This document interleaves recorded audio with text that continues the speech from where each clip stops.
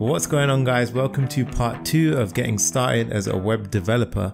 So today what we're going to do is we're going to talk about JavaScript functions and how you can use functions to enhance what your website can do. So previously we had a website which just used the basics of HTML, CSS and JavaScript. Today we're going to talk about what a function is. So a function is essentially a piece of code that we write once and we can execute it as many times as we want. Now this can be useful for a number of reasons. Today we're actually going to create a counter app. So it's going to have a counter in the middle of the screen and we're going to have an increment, decrement and a reset button.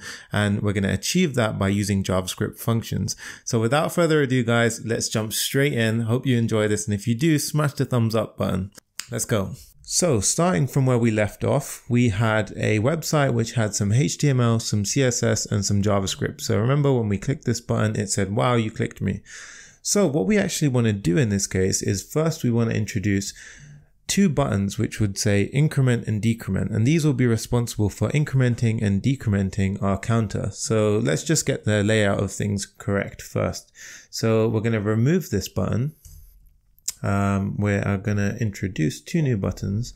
So the first button is going to say increment and I'm going to copy this line again and the second one is going to say decrement. So now if we save and we refresh, we have increment, decrement. And now they don't do anything because clearly we haven't hooked it up to anything. So we're going to go over to our script.js and because we're no longer using this old function, we're going to get rid of that. So the code's already a bit cleaner. So let's go back to our index.html and let's actually give the website a little bit more meaning. So we're going to say this is my counter website. And here in H2, what we're going to say is this is where the counter will go. So if we refresh, so this essentially is a good starting point. So we have our H1, which is our header, and it says this is my counter website. And the H2, basically this is going to be the place in which we'll get replaced with the counter value. So when we click increment, we expect this to go up. So it'll be 0, 1, 2, 3, 4, 5. And when we click decrement, we want to go down. So how do we do that? We can use a JavaScript function. So if we go into script.js, so let's think about our problem we need a counter which initially would start naturally at zero. Now to do that, we can actually use something in coding called a variable. A variable is essentially some memory on the computer which stores some information. So in this case, we have two types of variables in JavaScript. We have a let variable and a const variable. Now a const variable is similar to what it sounds like. It's a constant. So if we don't want the value to change once we set it, we use a const variable. But in this case, we want our counter to change. We want it to become 0, 1, 2, 3 and vice versa backwards. So in this case, the way we do it is we write let the name of the variable. So in this case, we're going to call our variable count and we're going to give it a starting value of zero. So that is the syntax for our first variable. And this is going to be the one which stores the counter value. Um, every time we refresh the web page, this value will get reset to zero. So the JavaScript file will run from top to bottom each time we refresh. So let's save that file. Now what we're going to do is we're going to create a function which is going to be responsible for when I click the increment button. So what we do is we say function increment count and we simply have an open close bracket and some curly braces. So what we want to do here is we want to increment our count. So to, to do that, all we have to do is simply write count equals count plus one. So it's basically saying, let's reassign the value of count and we say get the current value. So currently it would be zero plus one. So every time we click it, it's going to go up. So it's going to say one, two, three, four, vice versa. However, what we have now is a problem of, okay, so we've changed the count value, but how do I actually get this part of the web page to change? So there's a handy little feature in JavaScript where we can access the document, so the web page itself. And the way we do that is we use something called, so we write document and then we do dot to access all the properties and functions of the document.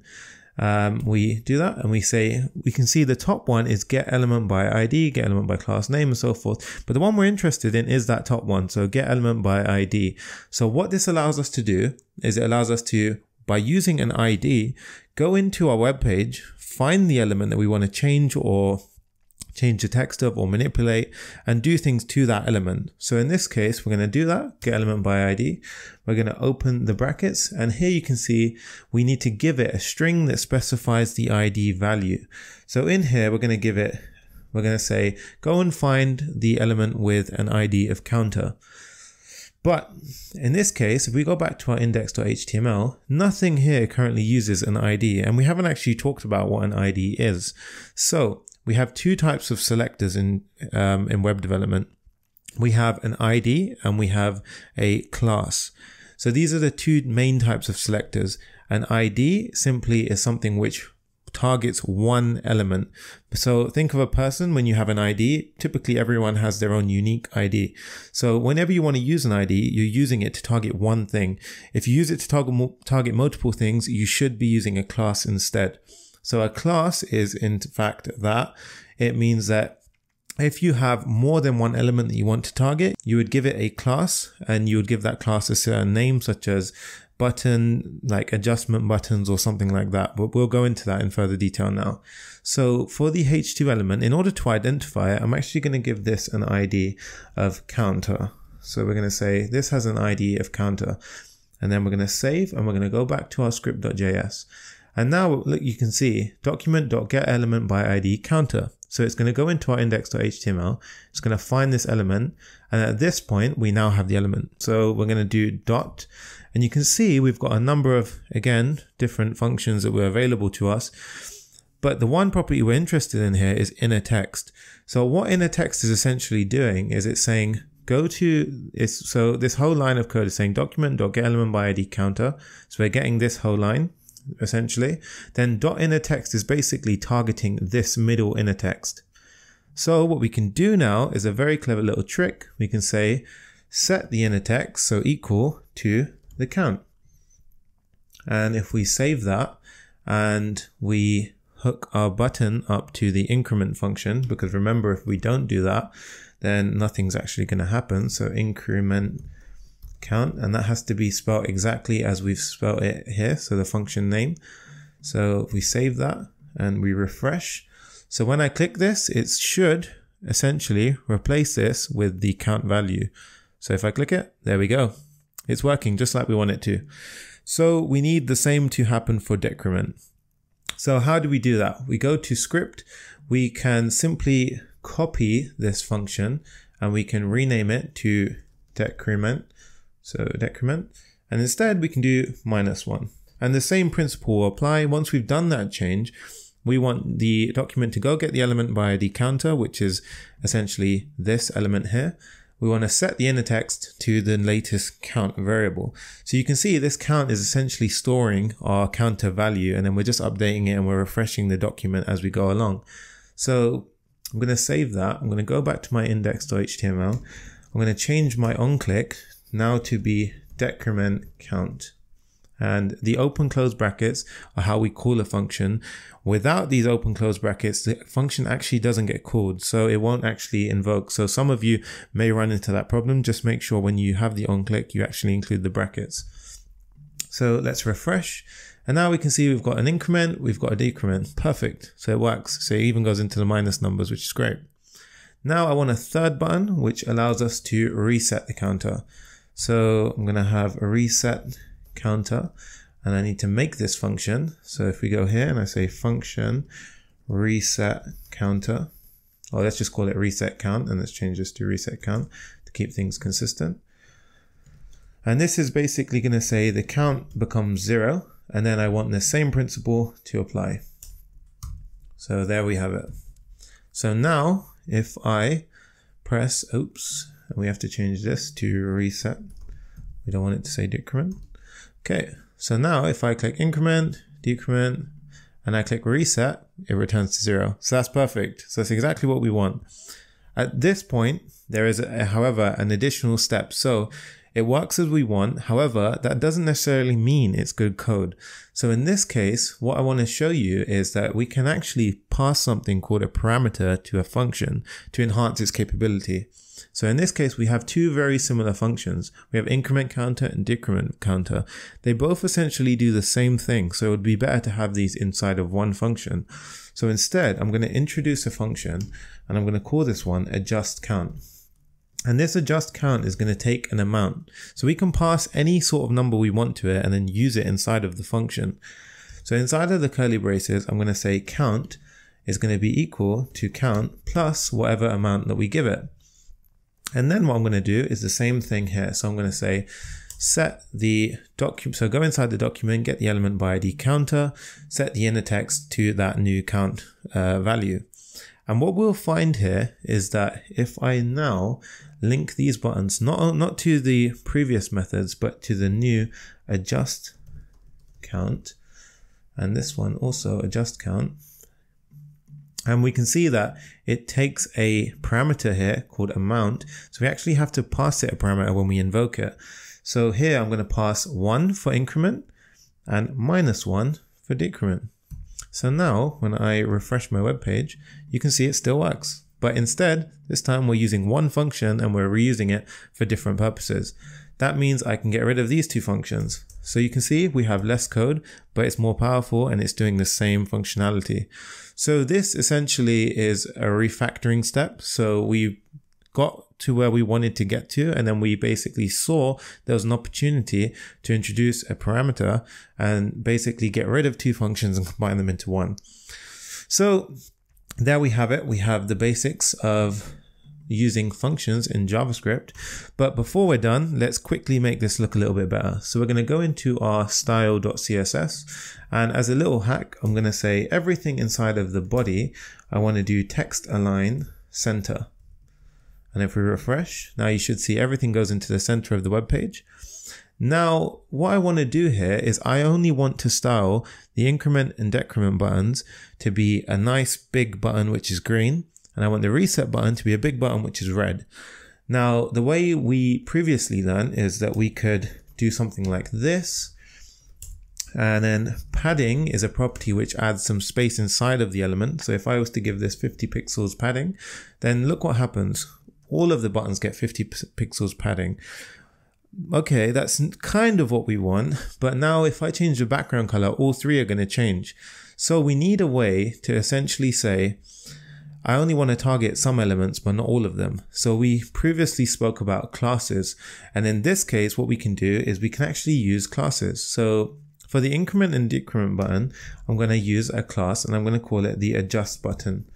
So anything with this adjust button class is going to get some particular style. So I'm going to give the increment and decrement button the adjust button class. I'm going to go to my style and I'm going to get rid of this generic selector and I'm going to say select all the classes. So the dot in CSS resembles a class and we're going to say adjust button. So this means that for all of the elements with the class adjust button, apply the following styles. So I'm going to say for all the buttons with the adjust button um, class, apply padding of 50 pixels. Let's change the background color to green.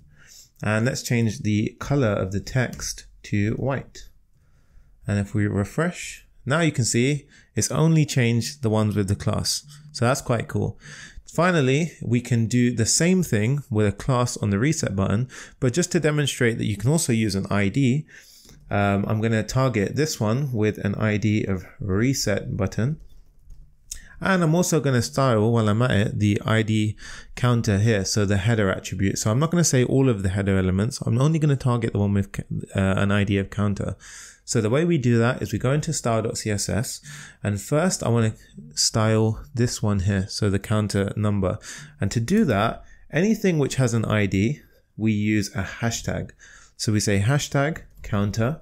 So any element with the ID counter, which it should be only finding one element if we've done this correct, I'm going to say change the font size to be, let's say 60 pixels. So we want it to be pretty big. Save and refresh, and there you go. And now if we increment, decrement, you can see it's much nicer looking app. And then we also had the reset button, which had an ID. So if I go to here and I write hashtag reset button, and then I want to give this one a padding of let's say 60 pixels. So I want it to be a little bit bigger. I want to say a background color of red. And I want to say the color of the text to be black. And we refresh. There you go. So we've got an increment, an increment, and a nice big reset button. One last thing to know is that whenever we do change this value, notice how when I refresh, count no longer exists, it seems, or count no longer has the value which it retained when we were pressing these buttons, that's because it's non-persistent. So there are techniques to keep that number even after a refresh, but we will learn that at a future date. But for now, that's just one thing to keep in mind. Um, the last step, of course, is that when we refresh, it's not really nice to say this is where the counter will go. So to fix that, we're just going to go over here to our HTML and say initially start with a value of zero. So in that case, it will look like this. So initially is actually a string value of zero. And then if we go to our JavaScript, when we increment, it will get updated and then it will change the value of the count variable and then update the document to display that change. So there we have it guys. We have our first functional web page. I hope that was useful and demonstrated the benefits of using a function, how we can write functions in a better manner. There are plenty more things to learn about functions in JavaScript and web development in general. However, I hope these tutorials are being quite simple and sort of getting you into grips of how we can build things and how we can slowly combine the different concepts from HTML, CSS, and JavaScript together into producing a website that we want to build. If you found this useful, smash the thumbs up button. And if you want, consider subscribing if you like the videos and you find them helpful. Stay tuned guys. Until next time, peace. Bitch, I came up and I don't know. I don't know where I go tomorrow. Bitch, I came up